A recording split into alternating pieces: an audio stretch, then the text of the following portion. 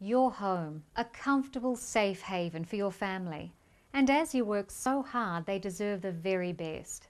The cornerstone to a comfortable home is a cosy, warm environment in the cooler months.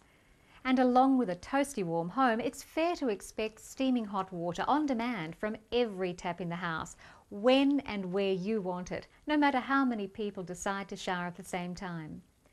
There is now a way to have it all and be environmentally responsible, all by harnessing the unbelievable power unleashed every day by the sun.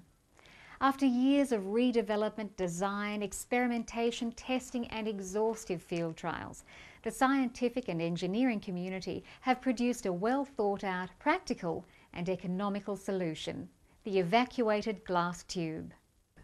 You are now able to slash your energy bills. This revolutionary energy collection system will save, depending on how much water you use and where you live, between 40 and a staggering 97% of your current heating bills, as well as seriously reduce your home's carbon greenhouse footprint.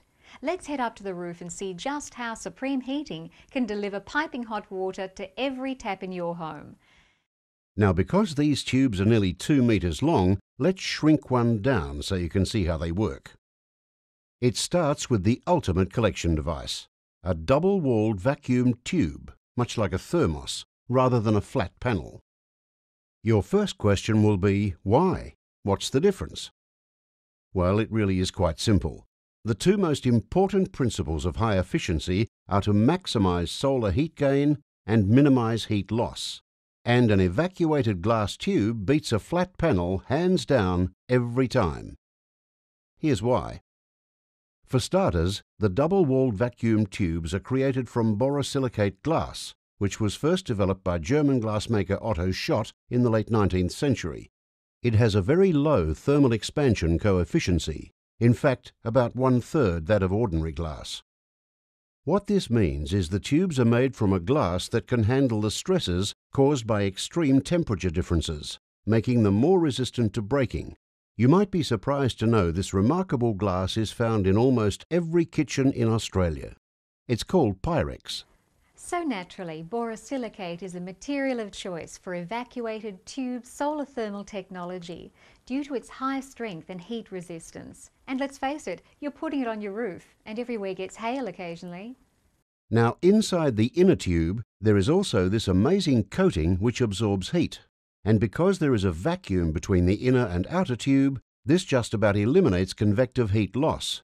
And this is where all the energy from the sun starts to go to work.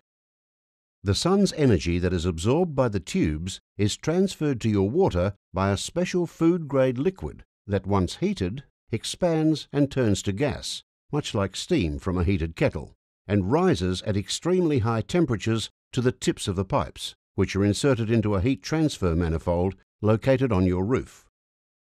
As the water in the manifold is heated, the gas in the tube cools and returns to a liquid, to start its journey up the tube again once the sun has done its job and turned it back to heated gas.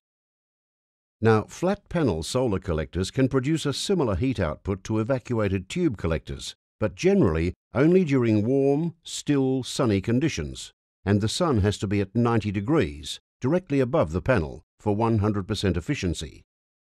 Whereas an evacuated tube collector is round it doesn't need to be at right angles to the sun to deliver 100% efficiency.